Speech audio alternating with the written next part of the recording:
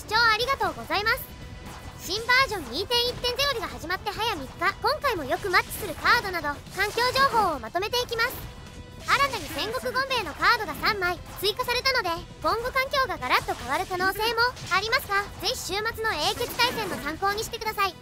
情報は私の100万から120万石の対戦データを参考にしています。早速始めるぞ。今回は合計65戦プレイしましたが最も多くマッチしたのが元軍です。その次に大体同じくらいで壁軍3番目は非軍同じくらいで4番目に総軍少し差があって5番目に四軍最も少なかったのは5軍でした。各勢力でどんなカードが多かったか教えてくれ。まず元軍は毘沙門が入った。デッキが多いです。卵春久と組んだアゲアゲ毘沙門他に毘沙門艦中などもいます。他のカードはどうだ？山中鹿之助の4から5枚デッキは結構マッチしました。敵軍はどうだ？敵軍は凪の4から5枚デッキ聖の関空の5から6枚デッキ劉備の4枚デッキなどは何回か当たりました。艦隊では3コスの関羽運長はよく使われています。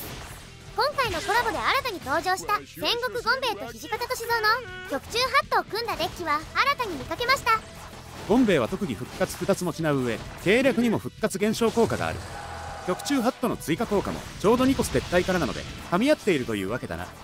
非軍に関しては吉川元春。その孫王毛利元就あたりが入ったデッキをよく見かけます。単体では真田幸隆も何回か当たりました。総軍はどうだ？総軍は今回3部隊掛けが強化された。竹中半兵衛は少し見かけました。今回のコラボで追加された長宗我部信親が今後の環境にどう影響するかですね計略に破壊力はあるものの効果時間がかなり短い。扱いが難しいな。四軍は余地長高が多いです。ルシファーと組んでいるデッキも当たりました。関心や消化は相変わらずマッチします。今回強化された候補数も計略時間が9カウントを超えたのでいよいよ使う人が増えそうです。最後に古軍はどうだ？古軍は全勢力の中でも圧倒的にマッチしませんでした。古軍はコラボで2枚追加されているのでその影響で少し増えるかもしれません島津家下と岡部元信の組み合わせは結構良かったです。動画を投稿しているのでそちらもぜひご覧くださいね。今回はこんなところか。来週も同じようにまとめていきますのでチャンネル登録をまだしていない方はぜひチャンネル登録をして更新をお待ちください。それではご視聴いただきありがとうございました。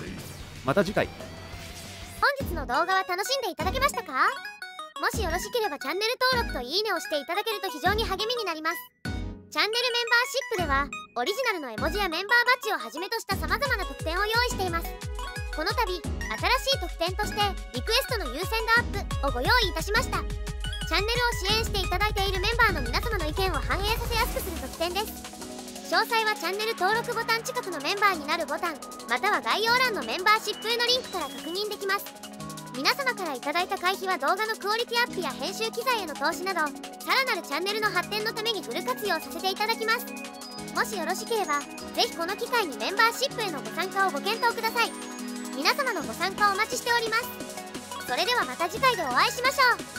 最後までご視聴いただきありがとうございました。